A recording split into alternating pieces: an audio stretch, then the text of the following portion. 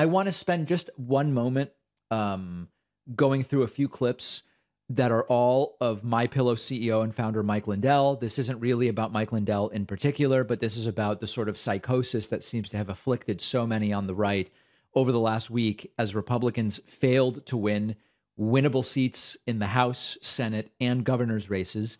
Republicans are going to take control of the house. They will not have control of the senate and they lost some key gubernatorial races Take a look at this. Mike Pillow was at Mar a Lago yesterday for Donald Trump's announcement for 2024. He is now saying, I have the proof Kari Lake really won the governor's race in Arizona. She didn't. I have the proof that Blake Masters really won the Senate race in Arizona. He did not. How long are they going to do this? How long are they going to tell the exact same stories for which they have no evidence? It seems like it is years, years. Listen to this. We fought them. They're absolutely caught. Everything that was done in Arizona, we caught. They are caught, and this is going to just the tip of the spear for unraveling. See, there's tens and tens of thousands of citizens that are looking for a place to reach out. They're going to do sworn affidavits of what happened. Remember, affidavits are not evidence. They can be accepted as claims that are still evaluated like testimony. Affidavits are not evidence, strictly speaking. I don't think there's a judge in this country that can't say we need a new election down there in Arizona. And now, uh, can, can you imagine a new election in Arizona? There's going to be no new election. Steve Bannon's already talking about decertification or prevention of certification again. There's no such thing. Kari Lake lost. Blake Masters lost. More people voted for their opponents. That's what happened.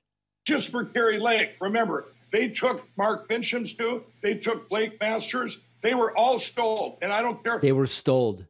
They were stole, folks. Doesn't matter what anyone says. We already know this. We were watching it from the Edison report. We were watching it cyberly and cyberly. They were they saw it stoled cyberly. Think of it. We were watching just blatantly. The citizens were all watching. So you have imagine having three different camera angles of a crime. When you have a crime of this magnitude committed, you can't certify this election. Yeah. Folks, this is part of why they lost in 2022.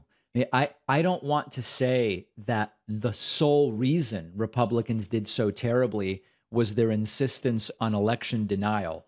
But to some degree, certain candidates harping on it was stoled, as Pillow says, did not help them. This is now a religion. It's not, it's no longer, well, we think 2020 was stolen. No, now it's we think 22 was stolen we believe they're going to steal 2024 unless we win, in which case we zip our lips and shut our mouths. Here's another clip of Pillow losing the little bits that were that are left of his mind, I guess, as the Kari Lake results came in. This guy is very unwell. What she has then was an image, uh, all the images before they came in and did the trusted build. So these uh, these teams, uh, these team of uh, experts, cyber guide, everything, yeah. for seven months now, have uh, there was a came out with the first report, the second report. This is the one we've all been waiting for because this shows actual machine manipulation. It shows it shows the manipulation, not just that they can be manipulated, but that our 2020 election was deleted. It he has no such evidence, and he has never presented it. It has been two years now. It's manipulated, um, all these things, and and not just that, but they also the election, another election they had in uh, in Colorado. So you have two sets of proof there, and yeah. there is no proof. Excited, Steve, because it's vindicated. It's here. It's over. The uh, these guys are guilty, and and these uh, when these uh, if you when you see these uh, the credentials these guys have. By the way, we put it up on Frank Speech exclusively. Yeah. You can go there and view this report and and the stuff that backs it up, where they got the stuff from. And uh, so I looked good. for it. There is absolutely no proof there. You know, if Mike Pillow came forward and said, "You know what? I was wrong. I don't have the proof. I I, I don't have it. And even if I suspect that something was was amiss, I don't have any of the proof I claim to have. I'm sorry. I'm sorry for what I did. I would actually respect the guy to some degree.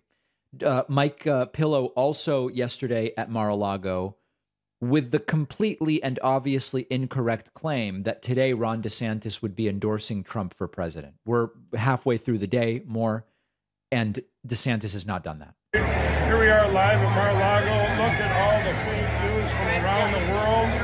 Had a ball with them, uh, talking to almost all of them. Uh, they asked me about uh, Ron DeSantis running against Donald Trump, and I said, after tonight, Ron will just endorse him in the morning. You got to believe that. Why would you want to waste all that time, energy, money, and everything else? So very exciting here. And uh, another one of Mike Pillow's predictions that obviously isn't coming true unless in the next few hours Ron DeSantis decides to come out and endorse Trump for president. I don't believe that's going to happen. And if you if you allow me to bet on that, I'm not a betting man, but I would bet on that.